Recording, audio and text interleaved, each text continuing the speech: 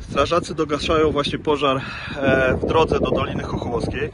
Pożar wybuchł niedawno w placówce obok i pani została bohaterką, ponieważ e, udało się pani e, zgasić pierwszą część budynku, żeby ten wiatr po prostu tego ognia nie powiał na następny budynek obok i dzięki pani ta cała placówka nie spłonęła.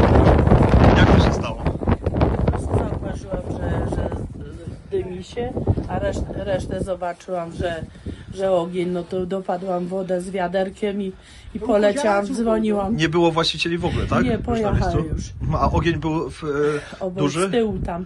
No już się z- do, dosyć mocno I czym tam. pani ugasiła ten ogień? Trochę wodą, żem luz, y, Widziałem, że polała. jakieś rany na ręce są, tak? No, no bo się Oj, tam to on trzeba- nie trzeba spadł, to nie zaraz sobie zrobię.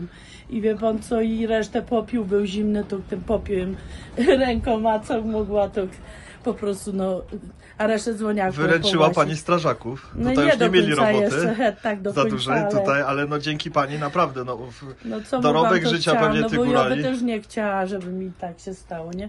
Gratulujemy no, a jeszcze bardzo, naprawdę. także... To jest wspaniały wyczyn i, i będziemy pokazywać panią, gdzie się tylko dobra, da. lepiej nie.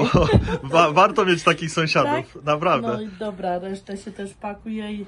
A nie, pokazujcie moich ręcy. A właściciele przyjechali już na miejsce? Jest, jest. Tak, jest. dobrze, dobrze. To, Jest to życzę w, w każdemu, żeby miał takich sąsiadów jak pani. Dobra, dziękuję. Gratulacje. Pokażę tutaj e, bacówkę, której pani, pani urzęduje.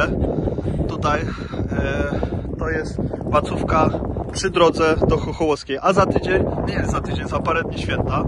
Za parę dni się bardzo dużo tutaj ludzi zjedzie na krokusy. Także wstąpcie pani e, broni Naprzeciwko parku linowego. Naprzeciwko parku linowego e, kupcie osypki i inne tutaj rzeczy, Takie które pani ma, bo z całego serca można panią polecić. Jest pani bohaterką. Dziękuję. Wszystkiego dobrego. Wszystkiego dziękuję.